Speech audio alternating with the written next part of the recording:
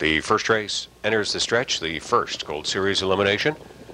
Three year old trotting colts and geldings, and they're off for the 30th anniversary season of the Ontario Sire Stakes. That's Meadowview Sunny and Doug Brown powering up in the center of the track. Mr. Garjangles leaving very hard on the outside, maybe trying to clear over into the first turn. Jerry Levac led away at the inside from third. Taking position forward to the first turn is called to order. An achieved victory is left in fifth, and JM Van Gogh and semi spot. After the first turn break, Northern Legend is the gapped out trailer. Mr. Garjangles Jangles directly to the top.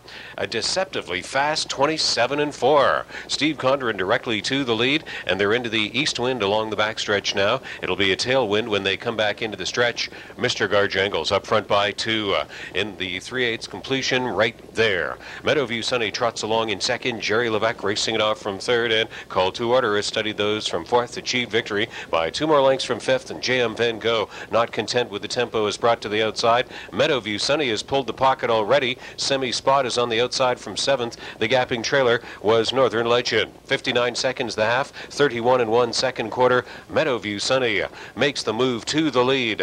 Well before the final turn, Mr. Garjangles surrendered the front, sits back in second. Jerry Levac rolling up on the outside is on the attack now. J.M. Van Gogh is fourth on the outside and coming on to join the leaders. Over to the top of the stretch. Call to order is on the inside from fifth. Semi spot sixth outside. Then it's achieved victory and three more lengths to Northern Legend, Meadowview Sunny, Jerry Levac, J.M. Van Gogh on the outside third, Mr. Guard Jangles along the inside in the top four, top of the stretch with nothing settled, Jerry Levac, Meadowview Sunny match strides, 128 and 3, final eighth of the mile in the first Gold Series elimination, Meadowview Sunny, J.M. Van Gogh, Ron Waples has this one flying up on the outside, J.M. Van Gogh is forging past, J.M. Van Gogh wins the first Gold elimination.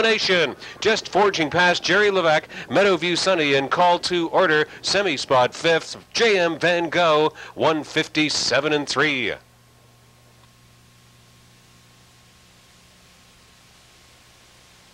That's six, J.M. Van Gogh. Three-year-old bay colt by Earl from Queen Tut, owned by Paul Chambers of Harrington, Delaware, John Mello of Georgetown, Maine, trained and driven to victory in Ontario and in the Ontario Sire Stakes first gold elimination by Ron Waples. The second win in three starts this year, that's a lifetime speed mark.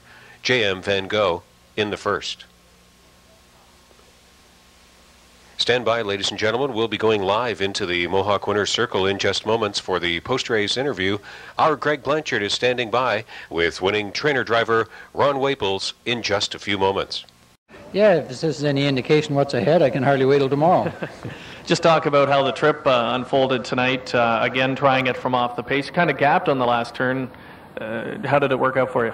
Well, it worked out real well. I, I didn't let him leave out of there. Uh, he has a tendency to be a little bit warm leaving the gate. Not bad, but a little bit.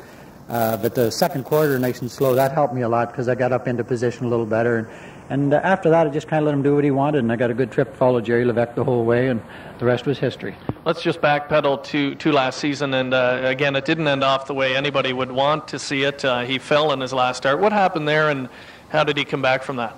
Well, this horse, when he fell, and I have no idea to this day why he fell, but after he fell and, and, and the mess his knee and his ankle, especially his ankle, the next day was in, he was about that far from being history, you know, uh, that close to the joint capsule. If that would have started leaking fluid, he would have to be put down. So I, I really didn't think the horse would come back very good, or maybe not come back at all. But he, when I he came up two weeks ago, and uh, you know I trained him twice, and boys, he was right on the iron and felt good, and, and he trained back good. Paul said.